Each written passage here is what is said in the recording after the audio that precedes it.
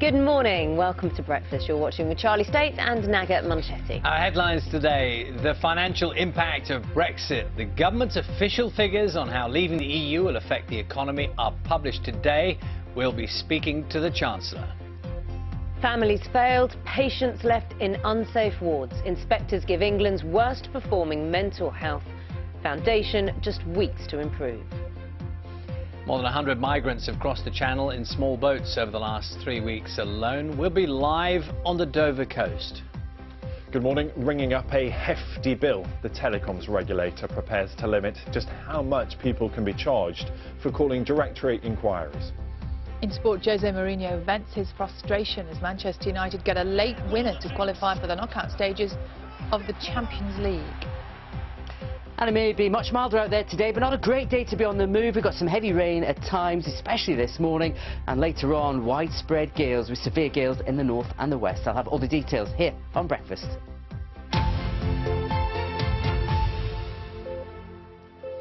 Good morning. It's Wednesday, the 28th of November. Our top story today. The Treasury will publish its assessment today how the various scenarios for Brexit could affect the economy over the next 15 years. Officials have refused to comment on a newspaper report that the drop in economic output predicted in the analysis will be far bigger if there's no deal rather than Theresa May's Brexit plan. Our political correspondent Alex Forsyth is in Westminster for us this morning. Uh, Alex, very good morning to you. Uh, uh, there are lots of reasons why this could be a very important moment, not least of which is that uh, many people, aside from the principles of Brexit, are interested in the practicalities. Will things be more expensive? How will it affect them in their households? And maybe this is a step towards some of those answers. Yeah, we're expecting quite a lot of information that's going to be published today, not just the government analysis, but also the Bank of England are going to have something to say later on. But just focusing on that government publication for a moment, the plan is this. They're going to put out a range of different scenarios, and crucially, they'll be looking at uh, staying in the European Union, so our current relationship, compared to the deal that Mrs May's negotiated, compared to no deal at all. And we don't know what that's going to say, but I think it's pretty safe to assume that it's going to show that Mrs May's deal is better than leaving without a deal. Now that, I have no doubt, will prompt some to say this is Project Fear all over again. This is the government trying to scare people into supporting Mrs May's deal. We'll have to see what the figures say, but I think the government's going to push back quite hard on that and say that it's right that this kind of information is fed into the public debate. And I think they will hope it will help Mrs May's case because she is going to continue pushing her deal today. She went to Wales and Northern Ireland yesterday. Today she's going to be in Scotland talking about taking back control of our waters when it comes to fishing, talking about certainty for business. A few people are saying, why are you trying to convince the public when it's MPs you need to convince? Well, Number 10, I think, are hoping that if the public gets on side, that might push some wavering MPs to back Mrs May. But quite right now, quite frankly, the numbers are still looking pretty tricky. This is going to be an uphill struggle for the Prime Minister. Alex, for the moment, thank you. And just a reminder, we will be speaking to the Chancellor, Philip Hammond. That's coming up in just a few minutes' time. Understaffing and unsafe wards mean the Norfolk and Suffolk NHS Foundation Trust has been placed in special measures by inspectors for the third time in as many years. That makes it the UK's worst performing mental health trust, and the Care Quality Commission says it has just weeks to make improvements to safety, as Nikki Fox reports. Just some of the families failed by England's worst performing mental health trust, many taking their lives before getting the help they needed. 19-year-old Niall Brown from Norfolk died in May. A popular BMXer, his family say they were denied crisis care and were told by staff to go private. He was speaking like a 14-year-old. Um, he could only feel the left side of his leg. Um, you know, there was a lot of stuff going on up there that wasn't right. Uh, he broke down in the shower that night, said, why am I going crazy? And we said, you're not going crazy, Niall. He couldn't hardly breathe, he couldn't hardly talk and we were sent home with him. The inspection report says people are self-harming while waiting for care, and the Trust doesn't have a thread of safety running through it. It says thousands are waiting with no help, wards are unsafe, and there have been more deaths after failing to learn from mistakes.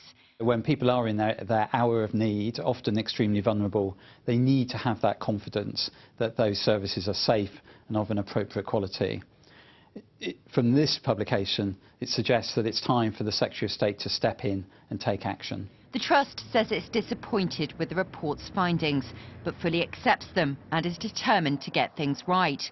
Niall's father says he was told by staff they understand how he feels. He says that's impossible. Nikki Fox, BBC News. There are profound legal and ethical challenges to overcome before facial recognition technology can be regularly used in street policing. That's according to an independent report. The software identifies suspects by comparing police images with faces in crowds. The University of Cardiff noted that while it helped catch suspects, it wasn't always accurate. Here's our Home Affairs correspondent, Danny Shaw. Using computers to recognise faces. Artificial intelligence is now being used by police to identify suspects. But does it work? Cardiff University examined the use of facial recognition by South Wales Police at last year's Champions League final and at a series of other events including rugby internationals and pop concerts. Cameras scanned thousands of spectators, comparing their features to images on a police database. It was part of a trial project funded by the Home Office. At the start, the system accurately matched only 3% of faces it picked out. That increased to 46% when a new computer algorithm became available, leading researchers to conclude that the technology can certainly assist police in spotting suspects who otherwise wouldn't be found. In the course of the trial, they recognised um, on a number of occasions that it could have other uses. For example, um, there were um, that, there were uses of it to identify victims of, of, of crime as well when they were um, have been quite badly injured. Um, there are uses of it to identify missing people. And also, the, the, potentially, we think there might be uses that could be put in place in terms of managing people with vulnerabilities such as Alzheimer's who have a tendency to go missing, in order to be able to locate them in, for, for, for safeguarding reasons. But the researchers say facial recognition is not a silver bullet. The system struggled to work with large crowds and in poor light, while the face type of a small number of people triggered false positive results. Danny Shaw, BBC News. 22 people have been killed and 22 others injured in a series of explosions near a chemical factory in northern China. The fire engulfed 50 vehicles in all. Local government says it's investigating the cause of the incident. More than 100 scientists in China have signed a letter condemning claims made by a Chinese researcher that he helped create the world's first genetically edited babies. The scientist from the University of Shenzhen says he has successfully altered the DNA of twin girls to help them resist the HIV virus. He's been presenting findings to a conference in Hong Kong from where our China correspondent Robin Brandt sent this report. Dr. He spent an hour inside there very calmly defending his work, but he was light on specifics, and that is problematic. He said that his work has been reviewed by several experts along the way, but he didn't give any details, no names. He said as well that Chinese law prevented him from giving the names of the parents of these two twins, Lulu and Nana. He couldn't say where they live either. He did say, intriguingly, that there is another pregnancy at the very early stages involving an embryo which his team has gene edited. So that is to come. There were lots of questions, of course. It felt to me kind of quietly hostile questions about uh, funding, questions about his uh, secrecy.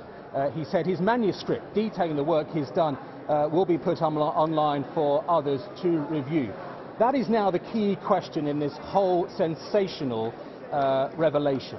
Will the details of what he's done be fully published? Will they be fully shared and fully available for others, others of his peers in this country, China and beyond, to review and make their independent assessments? Robin Brandt reporting there. The time now is nine minutes past seven. So today, we're going to get a report from the Treasury. The government's publishing its economic analysis. It's looking at the long-term effects of Brexit. That document will look at various scenarios expected to explore what might happen in the case of no deal. Chancellor Philip Hammond joins us now from Westminster. Very good morning to you, Mr Hammond. Thank good you morning. for your time this morning. Can I just ask you first, um, Theresa May, the Prime Minister, is obviously trying to persuade people that her deal is the only deal and the right way to go. How do you think her campaign to get people on side is going so far? Well, look, uh, the Prime Minister's deal has many critics. Uh, what we haven't heard, though, is a better plan. Uh, this is the only plan available for a negotiated exit from the European Union that will allow us to deliver Brexit in accordance with the referendum decision and protect our economy. And that's what we regard as our principal task. You saying and reiterating Theresa May's message that it's the only plan doesn't make it a good plan. It's the best plan available. We've been given a clear instruction by the British people to exit the European Union. And what we've spent our time doing uh, is negotiating an exit that protects the British economy, protects people's jobs, protects British businesses, allows our uh, export businesses to carry on trading with the European Union so that we can carry on uh, seeing rising wages and rising living standards over the years to come. And I think that's what the British people uh, want. They want to leave the European Union, but they do not want to be made poorer in the process. They want our economy to be protected, and that's what this deal does. I suspect a lot of people listening to you this morning, Chancellor, given what you know and the studies you've done, and I know these reports, your own analysis is to be uh, published a little later on today, they might well be interested in some specifics. For example, food prices. Are they going to go up or down as a result of Theresa May's deal? Well, if we're able to deliver uh, the deal that the Prime Minister has negotiated, we shouldn't see any uh, impact on food prices at all. There'll be no tariffs uh, on products coming in uh, to the UK, and both sides have made a commitment in this agreement that we reached on Sunday uh, to work to minimise any frictions uh, at the border. So we should see no material changes at all. And but if there is no what, deal, what if there is, is no deal, if I may, just on the food yeah. price issue, because sometimes it's helpful to be specific about things rather than talk about generalities. In the event of a no deal, the impact on food prices according to your own analysis. Well, if there is no, we, uh, uh, we haven't, um, uh, the, the, figures that are going to be published later today don't go into the specifics of individual commodities, but other people, for example, some of the big um, supermarket chains, uh, have um, made statements already about what they uh, expect would happen to products that they import. But it's clear that if we had a no-deal um, scenario, uh, that would create impediments to trade, uh, with the European Union, and anything that creates impediments to trade will increase costs and prices. So it's absolutely clear that no deal would lead to higher food prices. Um, so you're looking at the generalities of the economy, as I understand it, in relation to these numbers. So can you honestly say that in Theresa May's deal, the economy will be better than it is as we currently stand within the EU? Of the options available to deliver Brexit, to, to, deliver on the commitment we've made to the British people to exit the European Union, uh, the deal which the Prime Minister has negotiated is the best one for the British economy. Better than uh, a straightforward free trade uh, agreement, even if that were available. Better than being uh, in the EEA. Certainly far better uh, than a no-deal exit. It remains implicit in what you're saying, and you're, I notice you're phrasing this very carefully, but it may, remains implicit in what you're saying that you think that remaining in the EU would be better for our economy. Well, if the only consideration, if the only consideration was the economy, uh, then uh, the analysis shows clearly that remaining in the European Union uh, would be a better outcome for the economy, but not by much. The Prime Minister's deal um, is, delivers an outcome that is very close to the economic um, if, if benefits of remaining in, while having all the political benefits of being out. And clearly, people don't only look at the economy, they also look uh, at the political and constitutional uh, benefits of uh, exiting the European Union. That was what drove uh, uh, the decision in the referendum vote. There's a lot of scaremongering going on at the moment about uh, what happens in the event of a no-deal Brexit. Uh, and you're amongst those talking uh, about how dreadful the, the economy could become and how difficult things could be for people. Why are you trying to scare people? I'm not trying to scare anybody, and I reject the term scaremongering. If the government wasn't doing anything about the possibility that we could leave the European Union in just four months' time with no deal at all. If we weren't making any preparations, I'd be on this programme and you'd rightly be attacking me for not preparing Britain for a possibility which clearly could happen. Uh, and in that case, Um, we know, for example, that there will be significant delays uh, at the channel ports because customs procedures will have to be um, introduced where they don't uh, exist now, and that will slow down the flow of vehicles and therefore the flow of goods coming into Britain and going out of Britain. And of course we have to um, prepare for that. We have to make arrangements that will, as far as possible, minimise any disruption that will be caused by that no deal exit. And the government's spending a lot of time and actually quite a lot of money uh, on preparing contingency plans, just as a government would do for any uh, possible uh, scenario that we thought was um, likely to possibly could happen uh, which would have a negative impact. We have to be prepared. If I may, can I just ask you a couple of personal questions uh, in relation to Brexit? Uh, sorry, I didn't mean that. That came out wrong, but you know what I mean. Uh, I'm, I'm so intrigued. I'm waiting. Your, your, your situation in relation uh, to the vote uh, on the 11th of December, supposing Theresa May loses that vote and it's voted down, are you prepared to say here and now that you will remain member of her cabinet is, is that a guarantee? Well, look, you're, you're into hypothetical uh, well, just like a straight here. answer, we're, really. We're, we're, going to go out and we're going to sell uh, this deal. We're going to explain the benefits of the Prime Minister's uh, deal to the people of Britain. We're going to show them how it is the only way to deliver Brexit while also protecting our economy. And with, then we're with going respect, to appeal with respect, to Mr. Hammond, uh, I hate to put it. the national interest first. You know how I hate interrupting people, but uh, with respect, if anyone's listening to what you just said, they will only read that one way, which is you will not guarantee that you will quit the government if she loses this vote. You, you, are not prepared to give that guarantee this morning, which people will take to assume that you may well do that. Well, look, the, the Prime Minister has said herself that uh, if we don't get this vote through Parliament, we are in uncharted territory. There will be, uh, uh, we're, in, we're in an unknown world, and we'll have to decide how to proceed. But we will sit down if that were to happen, we would sit down as a cabinet, and I will certainly uh, be there at the cabinet table. We will sit down as a cabinet and decide how best to proceed, and what will guide us is what we believe is in the best interest of the nation. Ma'am, thank you very much for your time this morning. Thank you. Thank you. It's 17 minutes past seven. Time to talk to Matt, find out what's happening with the weather. Matt, it's quite miserable in lots of places today. It is. It's a grotty start to the day, Naga. Thank you very much. Good morning. Not a great start today. Not a great day to be on the move. In fact, we've got lots of surface water and spray around following some heavy overnight rain. More rain to come through the day.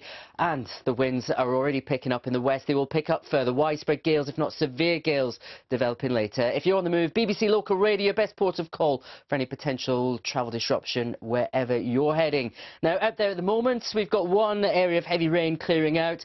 Patchy rain rain or drizzle coming and going across the rest of the country through this morning. So I can't guarantee you'll stay dry for the uh, morning commute. So you're more likely to get a little bit damp at times. But heavy rain will return to Northern Ireland through the morning, early afternoon, and that prolonged rain will spread back into parts of Scotland too. Further south, we'll see the clouds break up a bit through the afternoon, so a greater chance of a little bit of sunshine, but still some heavy showers here.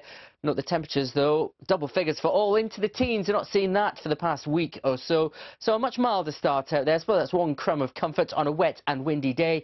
And as we finish the uh, afternoon, go into the evening, this is how the evening commute looks like. Could see winds 50, 60, maybe 70 miles an hour across the north and west of Scotland. Persistent rain on the southern highlands, the Grampians, the southern uplands could cause some minor flooding. Worst of the day's rain, though, out the way for Northern Ireland. Could finish with some breaks in the cloud towards Fermanagh. And uh, whilst we'll see a few showers across England and Wales, some breaks in the cloud. Still pretty windy though. Winds gale force just about anywhere, but around southern western coast, 50, 60 mile an hour gusts, maybe a little bit more, certainly possible. Now the winds will ease just a touch tonight. Still be going to be a breezy night. Rain is off for a while, but later on it returns across parts of England, Wales and by the end of the night into Northern Ireland. All helping to keep the temperatures up, though.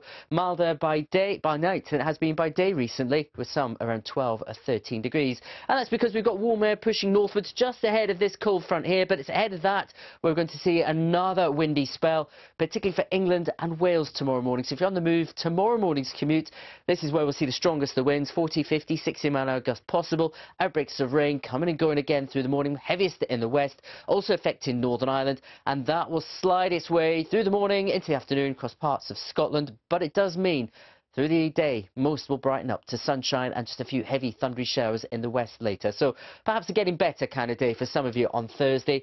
Still on the mild side, but starting to feel a bit fresher compared with today. And that fresher feel continues into Friday. Winds coming from the North Atlantic around this swirl of uh, low pressure to the north of us, bringing a mixture of sunshine and showers. Greater chance, actually, of seeing some sunshine on Friday right across the UK. And into the weekend, there will be some sunshine. The outlooks here look fairly negative with rain in most places, and you'll notice that in your apps as well. But the rain will come and go through the weekend. There'll still be some drier moments to make the most of. Certainly not a washout, uh, Naga and Charlie. Back to you both. 13. Thanks very much, Matt. Uh, so time now is 7.20. Ben, we like consumer stories that involve money and saving money. This is interesting. 118 call. How much does it cost? So you would Im imagine what, you know, you ring directory inquiries, you're on the call maybe, what, 90 seconds, something like that? I, I say, I thought about 45p. I know it's expensive, but I think, Uh-uh. really? £11.23. No, be is quiet. For one charge call? For one call. That's the current average of the most popular provider of You haven't it. got your decimal points mixed up there. No, £11.23. Uh, yeah, staggering amount of money. But there is help because within the last few minutes, the telecoms regulator Ofcom, good morning, by the way, uh, the telecoms regulator Ofcom has capped the price that directory inquiries firms can actually charge for those 118 calls. It says it's now going to limit the cost of a call to £3.65 for the 90-second call. That compares, as we said, to the current astronomical price that the most popular provider, that's 118 118, currently charges. They say that's a massive £11.23. Elsewhere, HMRC says there's been a 20% rise in scams demanding money over the phone and via email and text. They warn that the scams are getting increasingly sophisticated. Some messages, though, threaten legal action if the caller doesn't comply with the demand to transfer money. Well, HMRC has said that if you're in any doubt, just hang up and call them directly. And there could be a new TV streaming service to rival the likes of Netflix and Amazon Prime. Later today, the regulator is expected to back calls for public service broadcasters, including the BBC, ITV and Channel 4, to launch a combined service rather than their current existing platforms like iPlayer, ITV Hub and All4. Now, previous attempts to do that, they were blocked by the regulator but it says that the market has now changed because of the arrival of new players that charge monthly subscriptions. Uh, you're up to date with the business. More from me just before 8. I'll see you then. Thanks very much, Ben. 7.22 the time. As winter approaches, charities are calling for more to be done to help the hundreds of thousands of people across the UK without a place to call home. Today, a campaign to end rough sleeping launches in London. Graham Satchell takes a look at what's being done both there and in Manchester to tackle this problem. She's not. Oh, she is. It's a bitterly cold night. Hello? We're a homeless service, outreach. I just want to check you were right, darling. Hidden away in a back alley, a woman is sleeping rough in an abandoned cab. Are you getting help from anybody? How long have you been sleeping here for? February. February. Jamie and his team from London Street Rescue are trying to help the hard to reach. How old are you? 35. Okay. Disappointingly, I don't find it shocking anymore. She's got a relatively secure sleeping spot, which is an awful thing to hear yourself say. And that's giving her whatever sense of security she has at the minute. And, you know, to be able to work with her, we've got to try and break through that and see what we can do to help. The lady in the cab doesn't want immediate help, but Jamie will be back. London Street Rescue gets specific information about people sleeping rough from the police, the ambulance service and members of the public. They're just one part of a beefed up strategy to tackle rough sleeping this winter in London. But despite these efforts, homelessness has more than doubled since 2010. The numbers of homeless people are going up because the causes of homelessness are not being tackled. You can't solve a homelessness crisis without homes, for a start. The freeze on housing benefits and universal credit are tipping people over the edge. And then just the cost of renting is increasing astronomically and much uh, faster than earnings. So we're increasingly seeing people who are in work and also homeless. I've met people sleeping rough who are working. It's just living outside and you know in these weathers you could quite easily die in some some nights when it gets too cold. We had no food, me and the dog. We were just hungry and freezing. A bit nasty, really, and we're living rough. Anthony lived in a tent in Manchester for eight months last year after breaking up with his partner. Manchester's winter scheme is called A Bed Every Night and has already had some success, taking some 300 people off the street. Anthony was helped by shelter. I'm happy. I can switch a light on when I want and it's not dark, you know what I mean? Instead of having a candle in the tent, trying to you know, burn myself out. Yeah, it's just brilliant. Where, where are you normally sleeping? Okay. Back in London, Jamie is trying to persuade another rough sleeper to get to a hostel with no luck. This is it. Okay, so there's someone sleeping in here. The government in Westminster says it's committed £100 million to end rough sleeping in England by 2027. But campaigners say despite the extra winter efforts, there is a sense here of treating the symptoms and not the cause. Graham Satchell, BBC News. In Really interesting stories there. We're going to hear much more on this from the Mayor of Greater Manchester, Andy Burnham. He's going to join us just after 8 o'clock. You're watching Breakfast from BBC News. Still to come this morning, Watchdog has been continuing its investigations into food allergy labelling, looking at restaurants and coffee shops which are still getting it wrong. You'd be surprised. Time now to get the news, travel and weather where you are this morning.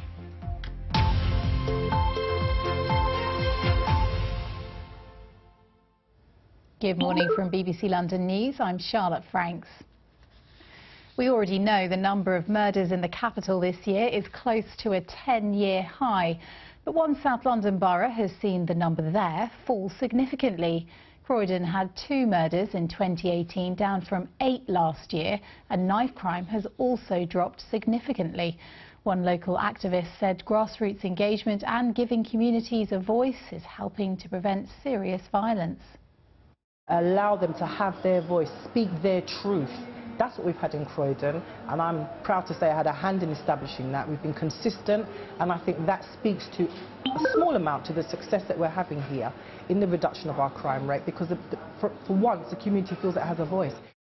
The mother of a GB snowboarder who took her own life earlier this year says she hopes her daughter's legacy will be to raise awareness of mental health issues.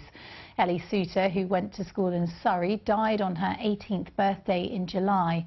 Her parents have now received an Outstanding Achievement Award on her behalf. It looked like she had it all, and she didn't have it all.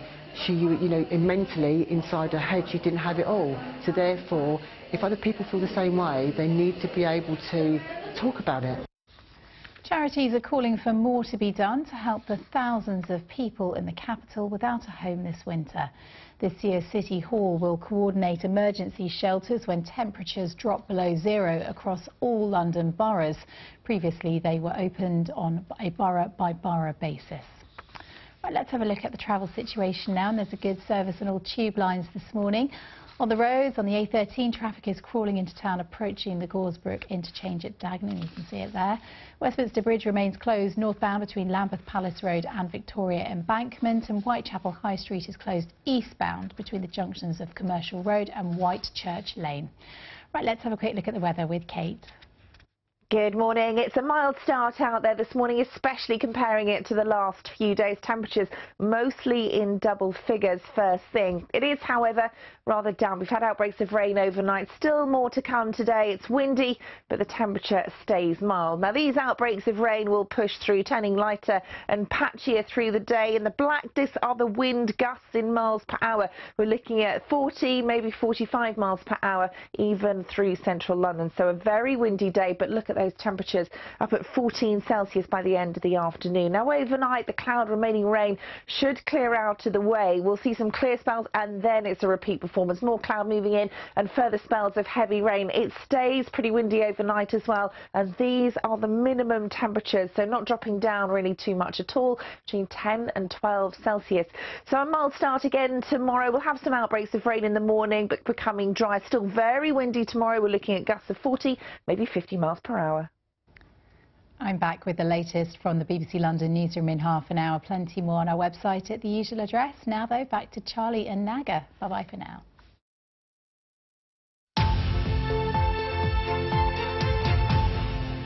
Hello, welcome back to Breakfast with Charlie Stayt and Naga Munchetty. Here's a summary of this morning's main stories from BBC News. The Chancellor has told this programme that remaining in the EU would be better for the UK on a purely economic basis. His comments come as the government will later publish its assessment of how the various possibilities for Brexit could affect the economy. Meanwhile, Theresa May is travelling to Scotland to argue the case for the deal that she's negotiated with Brussels. Well, if the only consideration, if the only consideration was the economy, uh, then uh, the analysis shows clearly that remaining in the European Union uh, would be a better outcome for the economy, but not by much. The Prime Minister's deal um, is, delivers an outcome that is very close to the economic um, if, if benefits of remaining in, while having all the political benefits of being out. Understaffing and unsafe wards mean the Norfolk and Suffolk NHS Foundation Trust has been placed in special measures by inspectors for the third time in as many years. That makes it the UK's worst performing mental health trust, and the Care Quality Commission says it has just weeks to make improvements to safety. Trust says it accepts the findings and is determined to improve. The Department of Health says it's providing support to the trust.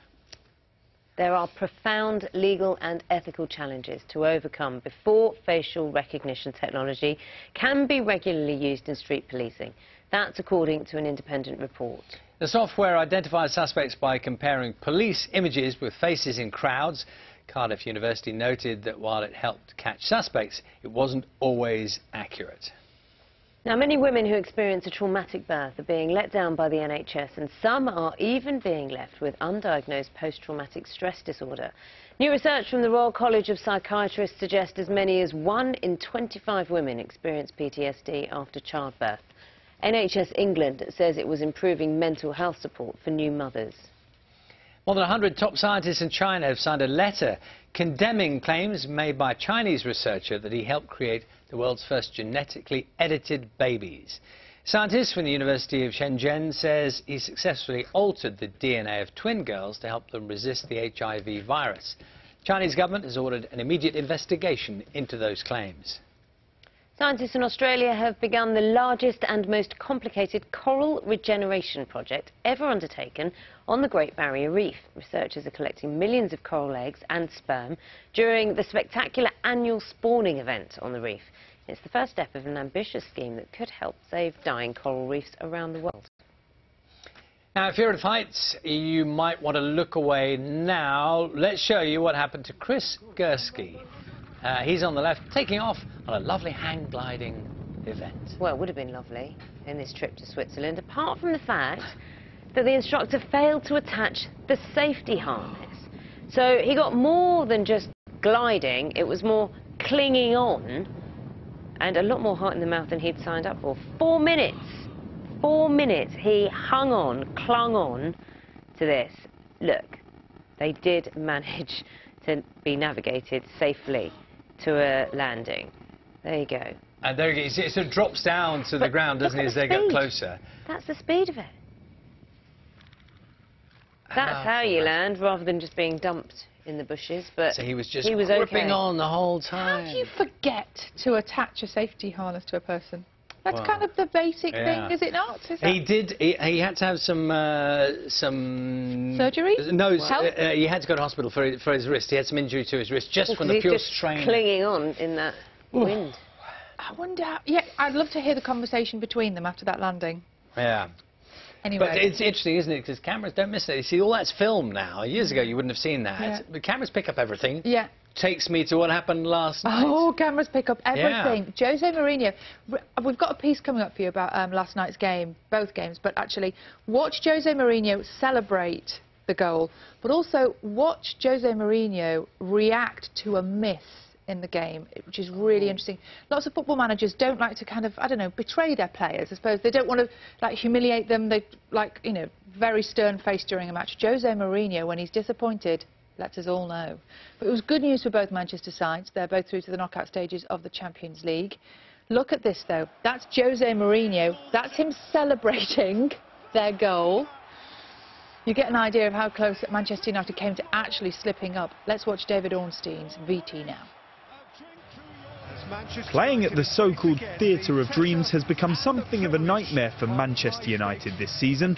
Against young boys, a fine chance to recapture their old habit of winning, though Marcus Rashford quickly showcased United's more recent trend, failing to find the net. Manager Jose Mourinho, well, unimpressed. Young boys began to grow in belief and would have taken the lead if David De Gea hadn't intervened.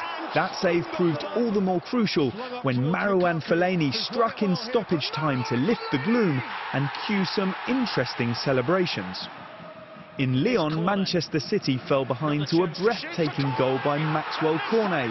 The visitors responded well, however. Nothing was stopping this Aymeric Laporte effort from levelling the scores. And although Cornet landed what looked to be the decisive blow, City had other ideas. Sergio Aguero securing a point and their passage to the last 16. David Ornstein, BBC News.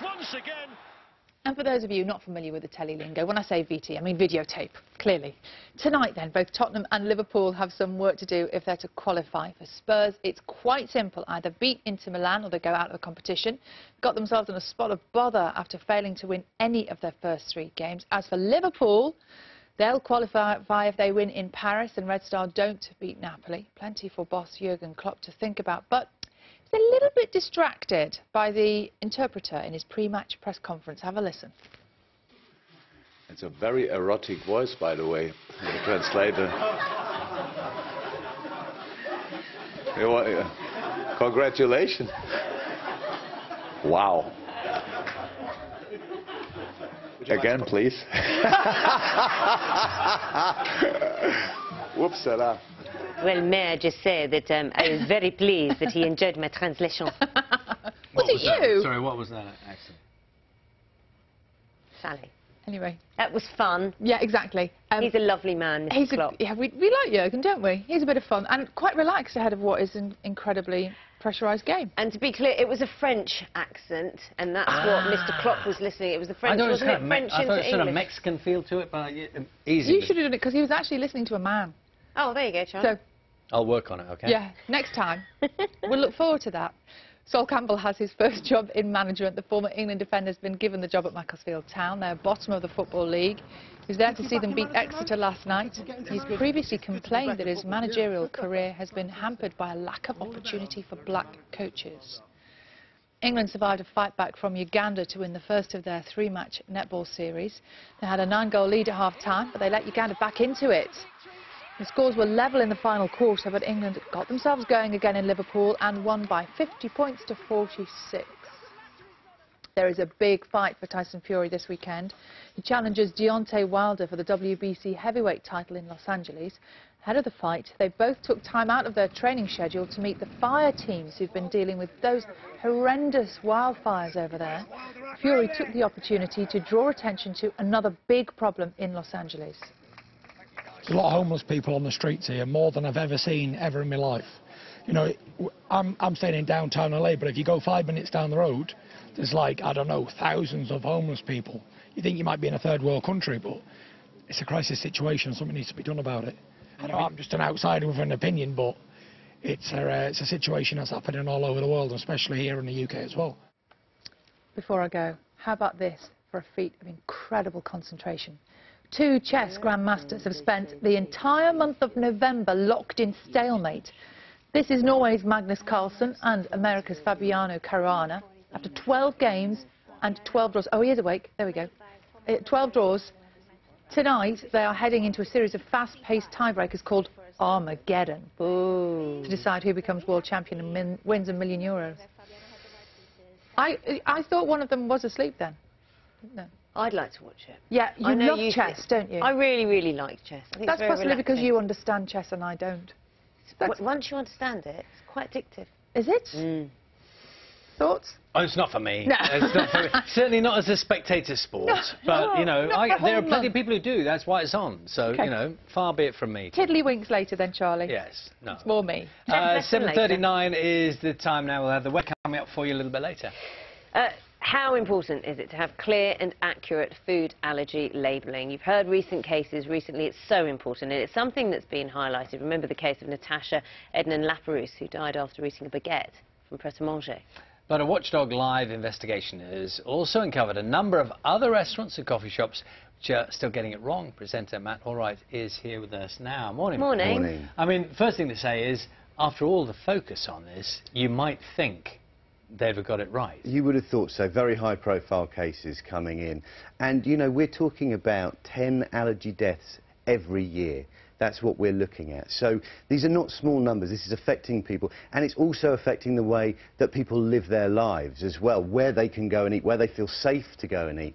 And, you know, we are just scratching the, the, the surface of this story now. And we are discovering what a big difference it makes. Um, you know, we, we posed as customers with food allergies and went, we went to six of the big name family restaurants, Frankie and Benny's, Pizza Hut, Nando's, Pizza Express, Starbucks and Costa, and we were looking to get the correct information, just the basics, to, to know that in those big 14 allergen groups, to know that we were absolutely safe. Now, Pizza Express was the only uh, chain to give accurate advice in all five of the branches we visited. So you did five in each branch? Yeah, five, five, each, in each branch, each 30 in total. And the others all let us down. To get an idea of what, the, what difference this makes, you just have to talk, uh, as Steph did, to Frank and Matilda. They both have a nut allergy. Um, and they went to the chain Coast to Coast, which is owned by the same people as Frankie and Benny's.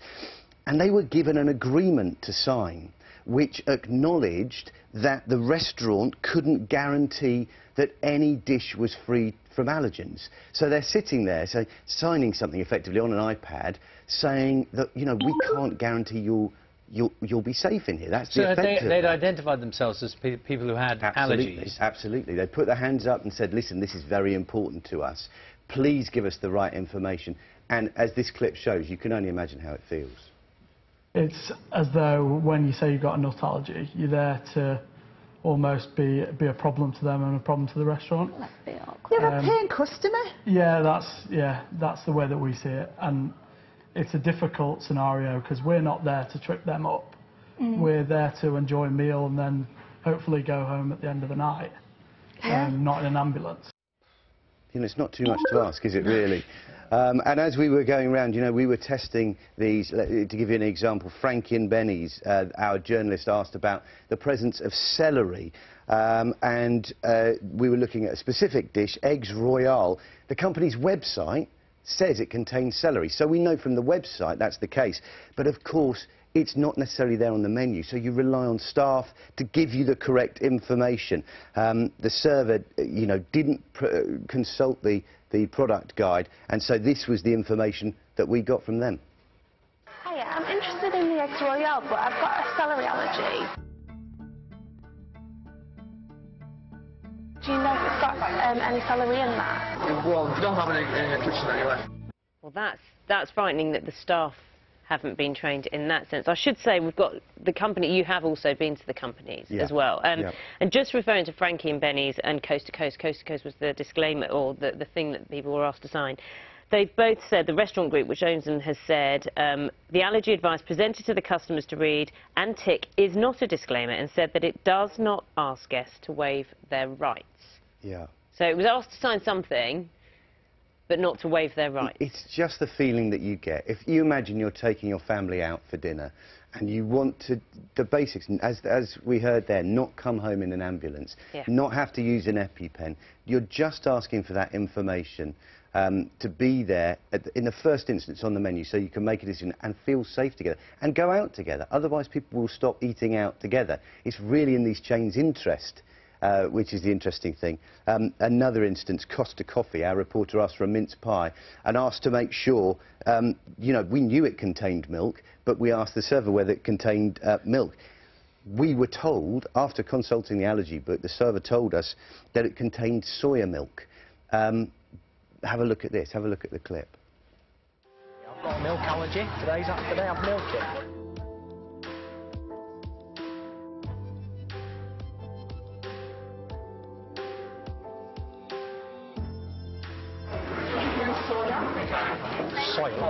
It's got soya milk in it. All right, okay. It's so dangerous. Yeah, absolutely. This is the one that worries me most. Potentially, if you have an allergy, you're at risk now. So, you know, after this, I've asked, tonight you'll see, I, I'd speak to the FSA to ask, how difficult is this really to get major restaurants who are making the same dishes, the same products every day, day in, day out, in their millions, just to put it on the label so people have confidence when they go in the first Matt, just instance. that on, on Starbucks, Costa, Frankie Benny's, Nando's, uh, all said that the incidents you've uncovered fell short of their usual standards, and they go on to say uh, they've addressed the issues with staff at a local and national level. Part of the problem is it looks like the staff are doing things wrong. They haven't been trained. I mean, you, You- know, you if they're not trained or told a, a procedure to go through, It's really unfair on staff. This is another part of this. It's unfair on staff to take the responsibility for what could be a life or death situation, and they are being the people who are having to give this information. It should be there on the menu. It shouldn't be so difficult. Should also mention, you mentioned Pizza Hut, and it's saying it's listened, at least. It's now saying the information provided to you, the journalist was ultimately correct, it's saying, but it is still now taking steps to make allergy information clearer, introducing codes, QR codes on menu cards, and it's going to make, be making the writing, the text in its guide bigger in the new year, because there was confusion about how to read the guide amongst the staff as well. Yeah. So much in the programme tonight. I think lots of people are going to be fascinated and probably think twice at the moment before they go to certain restaurants. Matt, thank you Thanks, so Matt. much. Thank you, guys. Uh, yes, to remind, uh, the investigation uh, in the coffee shops is on Watchdog Live, BBC One tonight at 8 o'clock. It's 14 minutes to 8. It is miserable outside. Matt, good morning to you. Where, tell me the sunshine's going to come up and all this horrible rain and that horrible piercing rain that makes you just feel cold to your bones is going to go away. Some will see at least a little bit of sunshine today, Naga. Not many, though. Some will have to wait a little bit longer yet. Friday's probably looking the best day of the week as far as sunshine amounts concerned. But as Naga has mentioned and hinted at, it's a bit of a grotty day out there this morning. Lots of rain overnight. It's left surface water and spray in the roads. Not a great day to be on the move. And the winds are set to pick up through today. We'll see widespread gales, if not severe gales later. So if you are on the move, BBC Local Radio, best port of call should there be any travel disruption where you're heading. Out there at the moment, though, we've got one batch of heavy rain going through, and then just splatters of blue on the radar chart here, an indication that the rain is just going to come and go through the day. Most of it light and patchy for a time, but the deeper uh, blue colours here, an indication of some heavier rain pushing into the west once again. Showers further south, bit of sunshine in between, but more persistent rain later this morning, Northern Ireland, and into the afternoon. That spreads across a good part of Scotland too. Note the temperatures. Now, it's actually milder out there this morning than it has been for some time, and a mild day by and large. Temperatures into the teens for many this afternoon, but of course that'll be tempered by the wind and the the uh, the rain. And the winds, uh, as I said, will strengthen as we go through the day. Into the evening, rush hour could see 60, 70 mile hour gusts across some northern and western parts of Scotland. Persistent rain causing some minor flooding, I suspect, southern highlands, Grampians, into the southern uplands, maybe the Lake District fells too.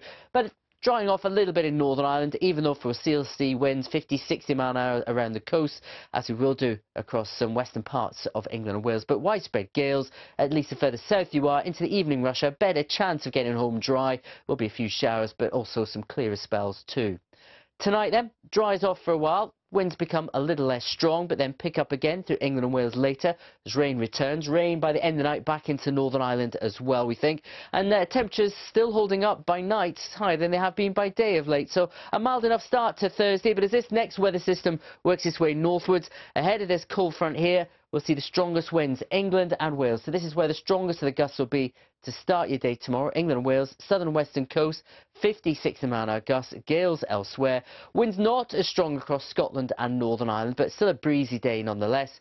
Rain clears away from Northern Ireland quite quickly, pushes in across Scotland, so a wet morning, early afternoon here, but then like most of us, we'll go into a state of sunshine and showers for the afternoon, so a better chance of seeing the sunshine through the second half of tomorrow. A few heavy showers in the west, and by and large still on the mild side. Though as we go through Thursday night and into Friday. Low pressure to the north, winds swirling anti-clockwise around it, bringing a mixture of sunshine and showers. As I've hinted at, better chance of some sunshine on Friday compared with what got over the next couple of days. Sunshine will be there this weekend at times at Naga and Charlie, but as the uh, outlook chart indicates, there will be a little bit of rain at times too, but not quite as windy as it will be today or indeed tomorrow. Back to both. Do you know what I wish I had at the moment? I'm going to go and look for one, a see-through umbrella. Because then, it, Oh, then you can stay dry and see the sun, because it's all in and out, isn't it? It won't be in and out today. I think it'd be one we don't really want to see the grey skies, to be honest. But yeah, tomorrow, but you said maybe. sun's coming out tomorrow, so I'll, have, It I'll oh, will come it out tomorrow. Okay. Go on, get yourself Thanks, one. I think Christmas there are see-through umbrellas. I think there already are see-through umbrellas. I said I didn't say I'm going to invent one. I said I'm going to find one. Oh, find one. You can buy me one. Uh, let's move on to the business news. Ben's got, and now this story is, all, uh, all of us have been slightly amazed by this this morning. When you call 118 118, how much do you think you're paying? And everyone's saying, you know, 40p, maybe a pound, a couple of, uh, you know, you know you're going to pay something, but the real figure is £11.23. Repeat that again. Eleven pounds twenty-three pence for For a ninety-second call. Absolutely astonishing. Uh, and what the regulator said this morning is that has to end, uh, and so they've capped that. They're going to cap that at £3.65 for all providers of directory inquiries. I mean, I'm sort of, you know, amazed that many people still use these because there's so many other sources of Mm. information. You know, on your smartphone, just Google the number or look for it online. But People still use them, people still being hit by that cost. Thanks very much. Yeah, morning to you. Over a million people still call directory services every year. Uh, and charges for calling those 118 numbers are something the regulator's been pretty concerned about for quite a while.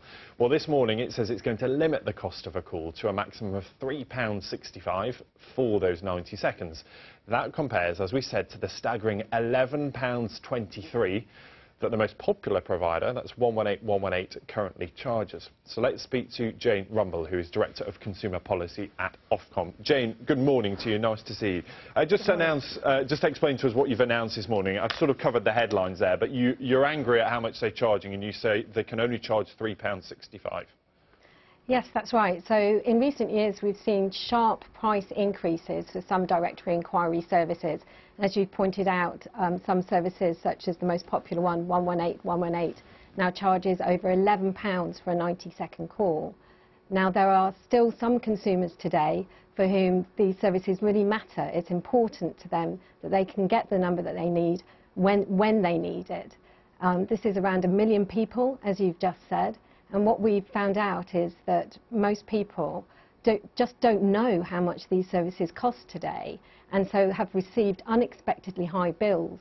And in fact, some people have struggled to pay those bills. And so what we have announced today is that we are stepping in and taking firm action by introducing a price cap in order to protect consumers from high prices. And this will significantly reduce the cost of most calls. Yeah, most will welcome that cap today then. Um, but two things jump out at me from this. Why it's taken so long and why 118 118 was allowed to charge £11.23 for a 90-second call. How was that ever allowed in the first place? Well, um, I, I disagree that uh, it's taken us a long time um, this year. So we set out our plans in June this year. Um, we set out the evidence and our concerns. Um, we've weighed this up carefully, and today we've announced our decision that uh, we need to introduce a price cap to protect consumers from these high prices. Who is responsible for making it clear what these phone calls could cost? Well, um, when we last looked at this sector back in 2012, when there was little evidence of harm, uh, and prices um, since then have increased sharply. Now, we put in place back then a requirement that providers needed to include pricing when they advertise their service. But what has happened is that there's been little or no advertising, and yet prices have increased. Consumers just don't know how much some of these services cost, and as I said, they then receive an unexpectedly high bill, struggle to pay it, and so we are very concerned. So today we are introducing a price cap in order to protect consumers from these high prices, and this will significantly reduce the cost of these calls. Um, and 118 118, to use your example, the most popular service is synonymous with this service. It advertises absolutely everywhere. We can certainly see now how it can afford to advertise everywhere. But why are you not making it more visible and advertising the alternatives? There are 400 providers of directory inquiries, and there are some that are free. Why are you not advertising those and playing them at their own game and making people realise there are alternatives to calling these very expensive numbers? Um, well, the, the, first thing to point out there is that while you may have seen adverts for 118, 118, they, they won't be for directory inquiry services. They're likely to be for other products uh, and services that 118, 118 offers. So, but what can happen is that a viewer may see the number and be reminded of, of it um, on television and then call that number. So what we have decided to do is that we need to step in and introduce this cap in order to protect consumers so that they can call um, these numbers in the safe knowledge that they're protected from um, substantial high prices and um, can call these numbers in comfort. Jane, it's good to talk to you. Thanks very much. That's Jane Rumble there, Director of Consumer Policy at Ofcom, that this morning have imposed that cap. £3.65 is all you'll have to pay, rather than that staggering £11.23 charged by the most popular provider. Uh, more from me after 8. Still a lot, isn't it? Thanks, Ben. So do think about using other methods as well, like Ben said, internet, whatever, use your phone if you can. Uh, 7.55 now, uh, self-repairing concrete. If that existed, it would be a remarkable thing. So it's like that, and then it would pull itself together and be repaired. It's happening right now. Richard Westcott's got the details. Concrete is the second most used substance on Earth, a key ingredient in road building. Repairing the cracks can cause long delays. So what if you could build concrete that can fix itself? When there is a crack in concrete, this crack is going to open the matrix and then open uh, the capsule as well. Livia's helping to design tiny capsules the size of sand grains that will sit inside the concrete. Any crack will split them open, releasing a healing agent that fixes the crack. So they come along with the tube, they are collected in this solution, and here, this white material is where you can see thousands of microcapsules being produced and collected in this solution. Under the microscope, they look like little eggs. And here's one that's opened up inside some concrete. So effectively, you're trying to make like a little egg with a hard shell and an agent inside that will fix the concrete. I mean, what, what's the hardest bit of that? Because you're making it at such a tiny scale, aren't you? Um, good question. The hardest bit, bit it's about controlling the flow rates. So I can precisely control the size of this tiny shell that I'm doing, this tiny egg that I'm doing, and also control the shell thickness. The Cambridge team is working on other self-healing systems too. So this is inside the concrete, agent always pumping through, and then the minute a crack goes through the concrete, it will find one of these plastic tubes. The tube breaks, healing agent comes out, and it just seals the crack. And then you see it's only one